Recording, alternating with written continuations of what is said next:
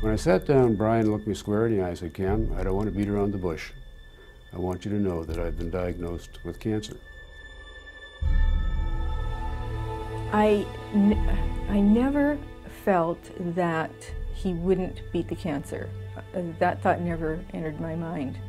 That being said, um, the treatment for the cancer was very harsh. Now, you are used to you know, taking on a challenge, worst case scenario preparation, reading as much as possible, let's take action, I'm going to get through this. It's a speed bump on the road of life. Absolutely. A million people a year get cancer in the United States. Wow. Uh, 24,000 get throat cancer. You know, I've done all the research. And, uh, but most of them survive.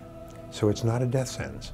And we have uh, wonderful medical technology here and wonderful support, everything we could possibly need. So having cancer is uh, a scary thing, but it doesn't need to be fatal.